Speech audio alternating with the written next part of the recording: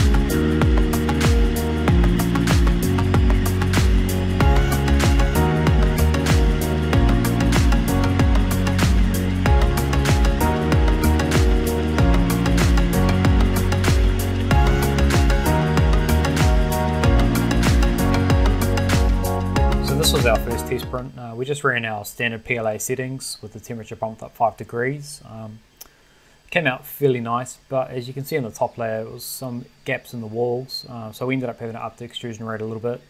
Um, our final extrusion rate ended up being quite high to get those walls filled in. Um, we ended up at about 130%, which seems to be quite high. I don't know if that's to do with the 0.6 nozzle, but we had also changed it to in the Cura to match. Um, so uh, if each print we did, it got better and better. This is another part here we did. Um, and then once we were fairly happy with it, we then started to print some parts for our three-wheel drift car so we could really put them to the test. Um, so far we've run it a couple of times, we haven't had any parts break. We had a few areas around the thin walls that started to get stress marks. Um, it's interesting filament because of the way it sort of reacts in quite thin walls. It's almost like a wood filament where you've got the wood powder which seems to take the percentage of the plastic down which actually makes it quite soft in areas but in thicker areas it's quite solid so it's, it's a very interesting material to work with. Um, you almost have to design your parts to suit because of course you've got a bigger nozzle as well so your walls are going to be a lot not thinner but less less layers around the walls so I think next time I'm going to sort of design some parts that are more set up for a 0.6 nozzle rather than a 0.4.